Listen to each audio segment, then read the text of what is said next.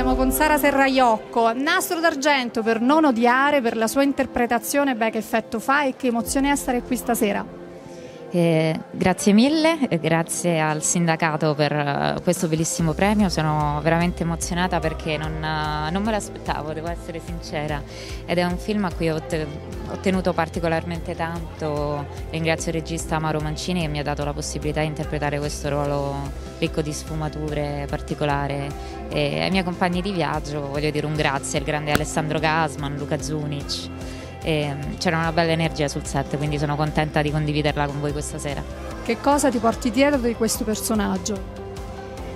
Sicuramente mi porto dietro la sua fragilità, ma allo stesso tempo una forza interiore che, che lei ha e che porta avanti durante tutto il percorso del film. Noi ringraziamo Sara per essere stata con noi, grazie Sara e complimenti. Grazie a voi, grazie. grazie, grazie.